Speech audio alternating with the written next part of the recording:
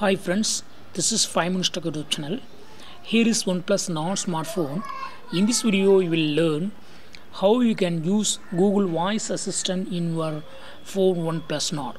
First, go to the settings of your phone here and click on buttons and gestures and click on press and hold the power button option and tap on voice assistant now press power button. Press and hold this power button. Just long press this power button and Google Voice Assistant will be opened. This is Google Voice Assistant. Hi Google.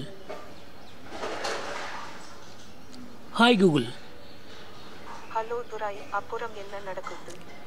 How are you? Super உங்களுக்கு உதவுறதுக்காக சுவாரஸ்யமான தகவல்களை சேகரிச்சிட்டு இருந்தேன் so in this way you can easily activate google voice assistant and uh, you can use google voice assistant for getting uh, some of the answers from net that's all friends thanks for watching bye